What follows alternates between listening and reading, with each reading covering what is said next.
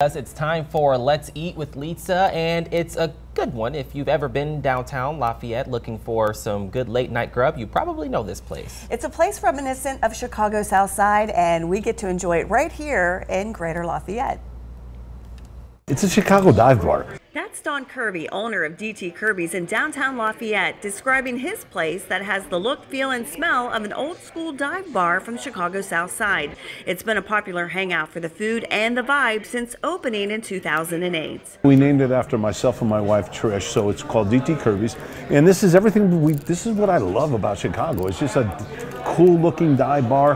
The stuff you see around here, um, the, the, the scaffolding is from, from Chicago. Kirby says, like all real street food, everything is made fresh and from scratch, just like the french fries here that are even cooked twice. We have potato. This is a Kirby's fry slicer. They make this just for us so we can put them in there because our fries are not like shoestring, they're not like steak fries. So you just put it on here and just drop it down. They just drop. And this is how our fries start. Drop it straight down.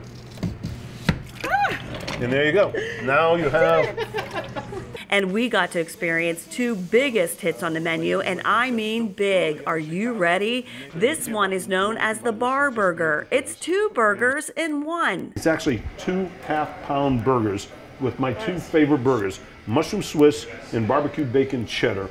Yes, that's right. And it's so big, you may need a lesson on how to eat it. What you do is you take your hands like this, flip it upside down, like that. That way, the big part of the meat's on the bottom and then you grab your jaws, right?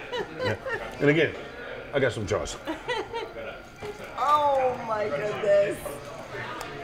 And that's how you do it. In downtown Lafayette, Lisa Montgomery, News 18.